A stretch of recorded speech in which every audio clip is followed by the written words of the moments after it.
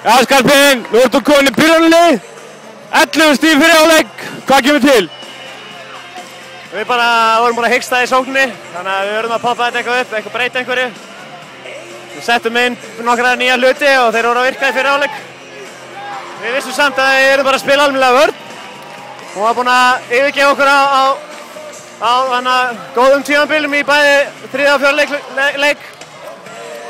Þannig að ég segi, við vorum aðalega að spá í vörðina síðust daga og ef hún kæmi þá vissum við að við myndum taka á. Hvað skópan að síður í dag?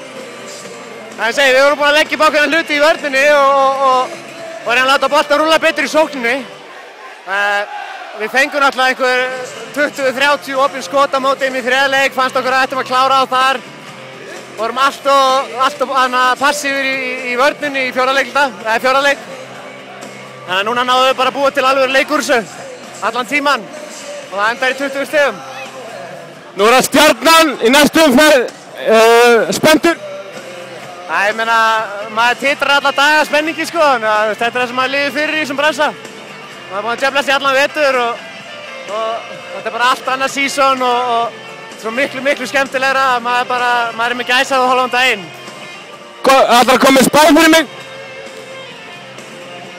Uh, Þú verður. við erum alltaf leiðist þessar helins íþróttaspár. Já, við vinnum.